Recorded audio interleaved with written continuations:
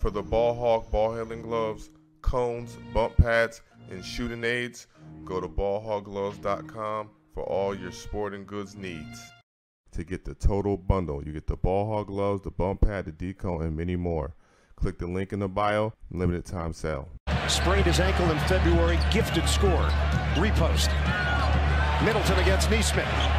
Bottom. And I, that's his game. Middleton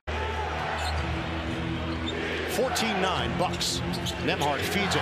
Turner. He thought he was going to get a call. He didn't. Lopez with a clean defensive play.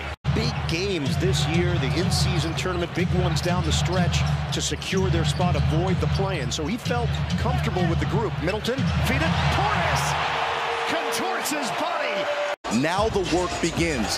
The coaching staff of the Pacers constantly reminding the players the level of physicality will increase and don't expect tic-tac Middleton scores again for the Bucks. Title situations and championship run they had. That was Mike Budenholzer, was the head coach. Eight turnovers now for Indiana.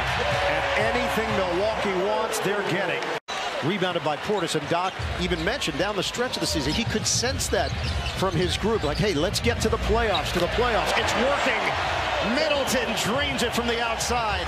Give a lot of credit to the effort and intensity defensively from Milwaukee. Lopez laces a three who are in the postseason for the first time and a bunch of guys who haven't been here in a while. He said we have to get back to who our identity is here in the second half. All right, Jared Middleton, that is his identity. And he's relying on that mid-range jump shot. 27 for Pascal Siakam. Middleton, the pull-up jumper, bullseye. Advantage Indiana. They beat them in the regular season. They've got this high-powered offense. That has not been the case here tonight. The scoop goes for Middleton.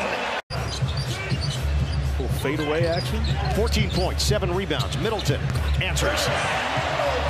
Yeah, we ain't worried about what nobody else saying on the outside media. We know what we got in our locker room, what we got in our team. You know, we play with swag, play with energy. We have some ups and downs, but that was the 82 game season for, you know, it's the playoffs.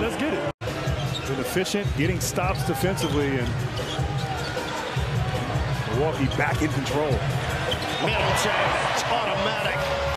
Obviously, kind of limped into the postseason, but everything has clicked in this game for the Bucks. Beverley nails the three.